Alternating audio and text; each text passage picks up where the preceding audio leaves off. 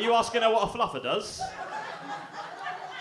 Is that? Are, are you related? She knows.